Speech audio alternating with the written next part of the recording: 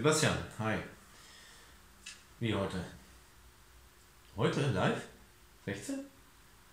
Oh, das muss ich weitergeben. Ciao, ich muss auflegen. Ciao. Leute, heute wird die DDSK 16 online gestellt. Ähm, wisst ihr was? Ich zeige euch einfach direkt ein paar Highlights. Bleibt dran.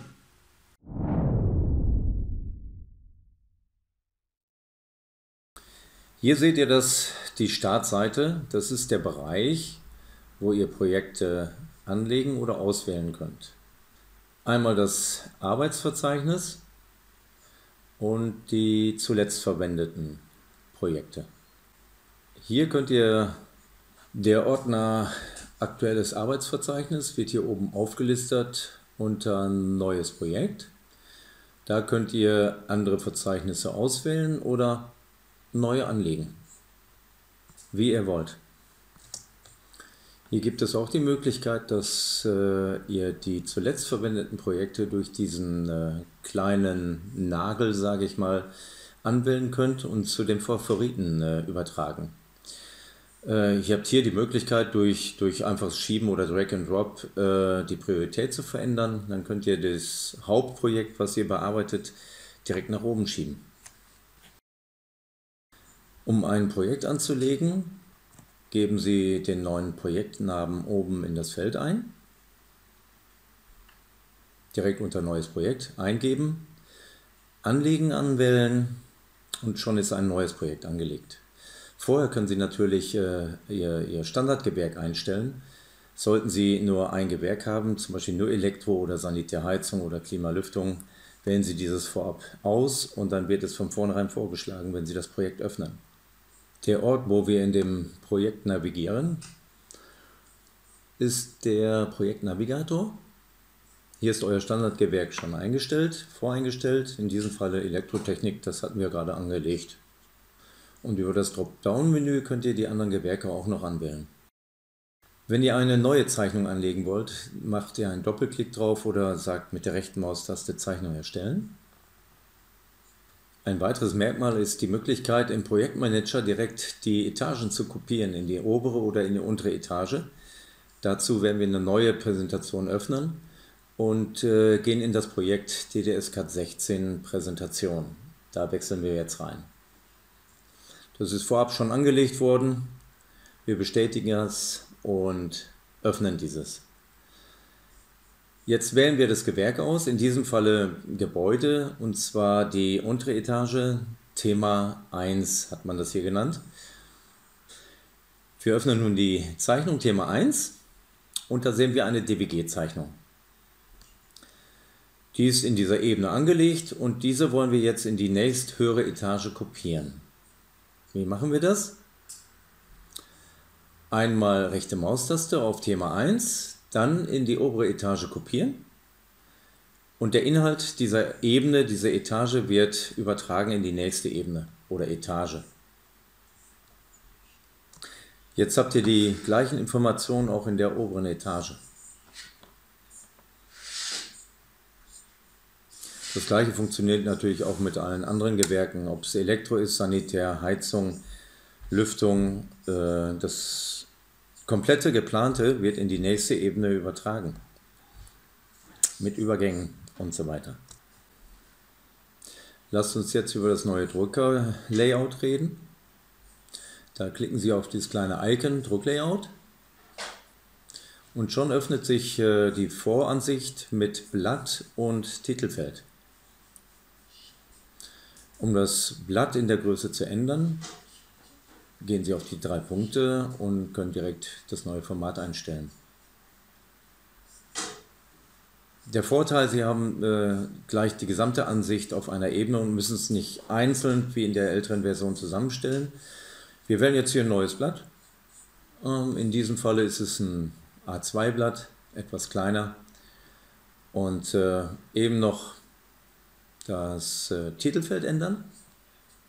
Auch über diese drei Punkte Nehmen wir die etwas schmalere Ausführung und dann haben wir das Blatt zusammengestellt. Dieses Drucklayout kann dann auch kopiert werden. Dazu gehen wir wieder auf den äh, Explorer, wählen Drucklayout an, sagen äh, kopieren und schon haben Sie eine Kopie von diesem Layout, welches Sie vorher angelegt haben. Können in die Gewerke wechseln und dann die Ebenen anwählen. Wir wählen das Drucklayout, äh, in diesem Falle Wohnung 4 an, kopieren das, haben ein weiteres Layout angelegt mit dieser Zeichnung und können es dann auch entsprechend umbenennen. Gehen in die Eigenschaften, können auch hier wieder direkt äh, die Blattgröße verändern oder den Namen verändern. Also alles auf einen Blick in einer Übersicht. Sehr komfortabel geworden. Nachdem wir die Layouts, die Drucklayouts nach Bedarf umgenannt haben, haben wir jetzt hier eine kleine, dieses kleine Druck-Icon, wo es nun möglich ist, mehrere Drucklayouts auf einmal zu drucken. Auch aus mehreren Gewerken. Das heißt, die markieren die Dateien, entweder alle oder einzelne Dateien aus diesem Bereich. Sie könnten alle geöffneten Dateien anwählen oder nur die aktiven. Wählen diese aus, in dem Falle vielleicht alle und schon wird alles auf einmal gedruckt. Hier erhaltet ihr jetzt eine Liste der, der ganzen Layouts. Mhm. Ein weiteres Highlight ist die Erweiterung der externen Formate, die DDS Cat 16 jetzt importieren kann. Wir haben das erweitert. Wir wechseln zum Projektmanager, um eine Leuchte anzuwählen wählen jetzt eine Leuchte aus. Gut, die ist jetzt rechteckig, kann auch rund sein. Könnten jetzt diese Leuchte mit einem neuen Symbol erstellen oder ein Symbol aus einer Datei auswählen oder wir ersetzen diese Leuchte durch ein BIM-Objekt. Rechte Maustaste hat sich dieses Fenster geöffnet. Wir springen direkt in BIM Objects. Das ist eine Online-Seite und da geben wir jetzt einen Namen eines Leuchtenherstellers ein. Bellatrix. Das machen wir gleich mal. Übrigens sehen wir hier IFC, 3DS, RFA, DWG, Objekte, also OBJ und STL. Hervorheben möchte ich in diesem Falle, dass wir auch RFAs einlesen können jetzt mit der Version 16. Das hatten wir vorher nicht. Und nun gehen wir auf Bellatrix, wählen eine Leuchte aus. Was passiert jetzt? Sie wird direkt geladen bei uns auf den Rechner, auf Ihren Rechner, ach, auf euren Rechner geladen. Und äh, hier sehen wir, es sind nicht viele Informationen vom Hersteller, aber wir sehen, dass es das äh, Objekt RFA ist. Da klicken wir einmal drauf und schon sehen wir die Draufsicht dieser Leuchte. Äh, hervorzuheben ist, dass die, die Objekte, die wir über BIM-Objects verknüpfen, dass sie auch elektrische Anschlusspunkte haben. Jetzt einmal die Darstellung in 3D, die Darstellung flächig. Sie können natürlich auch Farben ändern. In diesem Falle, ähm, je nachdem, wie Sie es gerendert darstellen wollen. Sie könnten auch ja, eine Leuchtfläche dort hinterlegen. Glaube ich. Können Sie auch. Oder könnt ihr auch. So, ähm, wir speichern das Ganze gehen nochmal in unserem Projekt, in unserer, auf unserer Ebene, auf diese Leuchten, in das gleiche Feld und sehen ganz unten, dass die Bellatrix-Leuchte hm, eingefügt ist. Aus BIM Objects haben wir jetzt ein RFA-Objekt direkt in unserem Modell. Es wurde oft gewünscht, dass die RFA-Objekte eingefügt werden können. Das haben wir jetzt realisiert. So, hier einmal vier Leuchten abgesetzt, ja, in 3D dargestellt. Ja, die, wie gesagt, die Farben können geändert werden der Darstellung. Und äh, ja, dann haben wir sie. Auch RFA, nicht nur IFC. Jetzt kommen wir zum Thema Spiegeln. In der DDS-Cat 16 können wir weitere Objekte technisch korrekt spiegeln. Wir markieren den oberen linken Bereich der Installation. Na, hat nicht geklappt. Nochmal das Ganze. Definieren eine Spiegelachse, nachdem wir unter Bearbeiten gewählte Objekte kopieren und spiegeln angewählt haben. Definieren die Achse, eben den Orthomodus einschalten, Ja, und schon ist die ganze Technik nach rechts gespiegelt worden. die Spiegelung werden wir jetzt nochmal nach unten klappen, sage ich quasi. Also das Ganze nochmal markieren, Spiegelachse wiederholen und die gesamte Technologie der oben beiden, äh, beiden Wohnungen in die unteren beiden Wohnungen gespiegelt komplett nach unten gespiegelt. Hier mal ein paar Beispiele. Wir haben hier Gitterrinnen, Kabelrinnen, ja, die markieren wir, so dass wir alles erfasst haben, definieren die Spiegelachse und schon ist alles korrekt technisch gespiegelt. Das gleiche auch mit Lehrersystemen, jetzt aber auch mit den äh, Lehrerdosen. Das war vorher ein bisschen schwierig, aber die werden jetzt komplett korrekt technisch gespiegelt. Und das gleiche auch mit Unterflurkanälen und den äh, Unterflurdosen, sagt man, glaube ich. Verzeihen Sie, wenn ich nicht die richtigen Wörter teilweise habe. Ich bin Techniker Sanitär, Heizung, Lüftung. Vielleicht ist das eine oder andere ein bisschen anders wiedergegeben von mir. Aber ich denke, Sie verstehen mich schon. Lasst uns jetzt über den Verteilungsmanager sprechen. Hier haben wir schon zwei Verteilungen angelegt. Oben links sehen Sie das. Und äh, um eine Verteilung zu kopieren, genügt ein Klick mit der rechten Maustaste oder, ja, wenn Sie es angeklickt haben, sagen Sie duplizieren und schon ist eine Kopie des Verteilers angelegt worden. Um eine Verteilung abzusetzen, braucht ihr diese nur mit der linken Maustaste in die Zeichnung ziehen. Einfach mit Drag and Drop. Sehen Sie das? Die, da wir aber schon eine, eine Verteilung haben, werden wir die mal kurz wieder löschen. Sie erscheint oben links direkt. Wirklich faszinierend finde ich die Funktion, dass Sie die Verteilung mit Drag and Drop äh, verknüpfen können, also ein, ein, ein Verteilungsnetz aufbauen können. Dazu, ähm, das funktioniert so nicht. Dazu musst du erst die Zuleitung zu den Unterverteilungen anzeigen. Denn eine Unterverteilung lässt sich nur zu einer Hauptverteilung verknüpfen, wenn da auch die Zuleitung zu dieser Unterverteilung ist. Das haben wir jetzt mal gemacht. Bedeutet also, äh, über Drag and Drop bekommen Sie die Verknüpfung, sofern halt die Zuleitungen äh, angelegt worden sind. Jetzt ziehen wir mal die Oberverteilung auf, den, äh, auf die Zuleitung des Verteilers. Jetzt, ähm, na, wie heißt er? Ist ein bisschen klein. Und schon haben Sie das ganze, die ganze Netzstruktur hier auch oben dargestellt. Zusätzlich können Sie jetzt alle Stromkreise der Verteilungen anzeigen. Und wenn dieser Platz in diesen kleinen Fenstern zu klein wird, dann nutzen Sie natürlich einen, einen zweiten Bildschirm und schieben das mal rüber, damit Sie es besser darstellen können.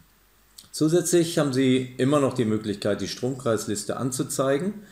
Das äh, sehen wir jetzt hier unten wo jeder Stromkreis, ob er schon zugeordnet ist oder nicht, sehen Sie durch den gelben Pfeil dort, ähm, dargestellt wird. In diesem Falle haben wir jetzt einen Stromkreis über Drag and Drop aus der Stromkreisliste herausgezogen und die Steckdosen angebunden. Also einfach Drag and Drop raus aus dem Stromkreisfenster und in die Zeichnung.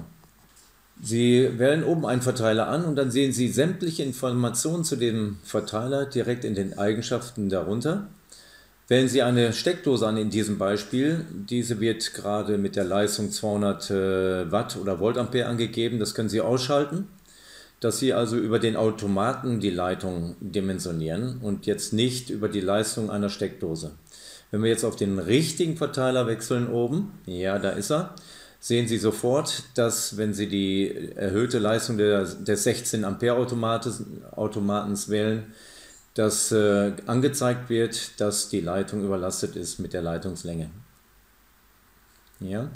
Sie können dann äh, rechts wieder äh, die Leistung ändern und anpassen und dann erkennen Sie sofort, dass dieser Highlight des Stromkreises, also diese gelbe Anzeige, wieder neutralisiert wird und die Leitung nicht überlastet ist.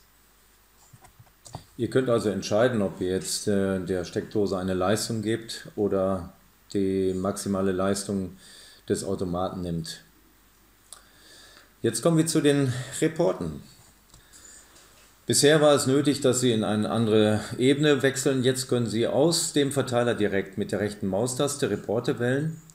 Hier die Leitungsberechnung in diesem Beispiel. Ja, oder wieder rechte Maustaste, hm, was haben wir da? Verteiler Dokumentation erstellen. Sie könnten jetzt in die Verteiler, in die einpoligen, allpoligen, also mehrpoligen Stromkreise, Verteileraufbaupläne und und und wechseln alles aus dieser Ebene mit der rechten Maustaste direkt von dem Verteiler in diese ganze andere Ebene wechseln. Ihr habt somit eine Menge Möglichkeiten. Jetzt wechseln wir zum Thema Kabelverlegesysteme. In diesem Beispiel finden wir den Verteiler, angeschlossen mit äh, einer Kabelleiter oder einer Gitterrinne, einigen Leerrohren und einem Brüstungskanal. Gut, die Anbindung geht jetzt bis Mitte des Verteilers, dann haben sie ein bisschen was für einen Verschnitt. Ja, also. Und jetzt aufgepasst. Wir verschieben den Verteiler. Die Systeme laufen mit. Alle Systeme laufen mit und entsprechend in der äh, Stückliste werden Minder- und Mehrmengen natürlich auch direkt ausgegeben. Bisher war es nötig, dass Sie ein Verlegesystem an der Verteilung beendet haben und dann äh, ein Kabelstrang definiert werden musste. Das ist jetzt nicht mehr möglich. Sie können also diesen Verteiler mit Multi, also mit mehrfachen Anschlüssen anbinden. Es gibt jetzt nicht nur vier, fünf, sechs Anschlüsse, sondern Sie haben die Möglichkeit, das so zu generieren. Jetzt kommen wir zu Rohrleitungen. In diesem Falle haben wir äh, die Kaltwasserleitung, einige an die obere Etage übergeben. Das sehen Sie an diesem Fall. Und wenn Sie dieser Leitung eine Etage höher folgen wollen, das war bisher nur in Elektro möglich in den letzten zwei Jahren, dann äh, sagen Sie einfach rechte Maustaste, obere Etage öffnen und zoom auf den Etagenübergang. Die, es wird automatisch die nächste Etage geöffnet. Sie springen genau zu diesem Übergang. Das ist natürlich interessant und wichtig bei großen Projekten. Ja, da ist ja teilweise so viel Technik drin, dass Sie die Anschlüsse kaum erkennen oder finden auf Anhieb. Und das erhöht natürlich Ihre Planungsgeschwindigkeit. Einmal Sicherheit und Geschwindigkeit. Was Sie hier erkennen, ist auch der Rohrdurchmesser, dass er entsprechend passend dargestellt wird. Das bedeutet also, Sie kommen in die nächste Etage, Rohrdurchmesser wird exakt dargestellt. Sie haben das dann äh, die Sicherheit bei der Kollisionsvermeidung. Nun kommen wir nochmal zum Kopieren ganzer Installationen in die nächste Etage. Das haben wir hier gemacht. Ähm, oder das machen wir jetzt. Wir kopieren also die gesamte Installation in die obere Etage, akzeptieren die Abfrage und finden in der nächsten Etage die komplette Installation, die Sie eine Etage tiefer schon generiert haben. Was natürlich gut ist, sämtliche Anschlüsse werden erkannt und übernommen. Bedeutet also, das Modell, ach, das Modell, kein Modell, das Modell ist also korrekt aufgebaut. Das gleiche natürlich in allen Gewerken. Hier haben wir das Beispiel an Lüftungskanälen, einmal ohne, rechteckig ohne Isolierung, rechteckig mit Isolierung und einmal rund mit Isolierung. Kopieren diese Übergänge, die nach unten führen, das sieht man an der Darstellung, sehen in der unteren Etage direkt den Durchmesser des Kanales und auch die, gleichzeitig die Isolierung. Das ist natürlich gut, wenn Sie in äh, engen Bereichen Ihre Verlegungen äh, planen, zum Beispiel auch in Schächten. Dann sehen Sie auch wirklich, ob das mit der Isolierung auch noch passt. Großer Vorteil für Sie, Kollisionsvermeidung und Sie sehen auf einen Blick, ob es passt oder nicht. Hier haben wir einen Übergang. Daran können wir jetzt präsentieren, äh, dass die Parameter, wenn Sie diesen Übergang anwählen, dass diese Parameter rechts direkt live erscheinen. Äh, durch Änderung der Parameter, in diesem Falle unten übrigens äh, in den kleinen Icons können Sie erkennen, wie die Parameter sich verhalten oder worauf sie zugreifen. Äh, durch Änderung der Eigenschaften, in diesem Falle sagen wir, mh, hm, wir bringen die Reduzierung auf mittig oder unten durchgehend. Das können Sie hier einstellen und es wird auch direkt live übersetzt. Das heißt, wir arbeiten ja im 3D-Modell. Wie gesagt, wir arbeiten im 3D-Modell, wo sämtliche Änderungen direkt übernommen werden. Ja? Die Parameter, die wir rechts verändern, werden im 3D-Modell direkt übernommen. So erkennen Sie sofort, ob Sie irgendeine Kollision vermeiden müssen oder ob es passt. Ich hoffe, Sie hatten viel Spaß bei, der, bei den Neuigkeiten und freue mich, von Ihnen zu hören. Wollt ihr mehr über DDS-Cat 16 erfahren oder eine Live-Präsentation mit mir oder meinen Kolleginnen und Kollegen? Dann äh, besucht uns einfach auf unserer Seite www.dds-cad.de slash erleben. Ja? Dort findet ihr weitere Informationen, die ihr braucht. Und ich hoffe, es hat euch gefallen und sage dann, wir sehen uns. Euer Rudolf Roth.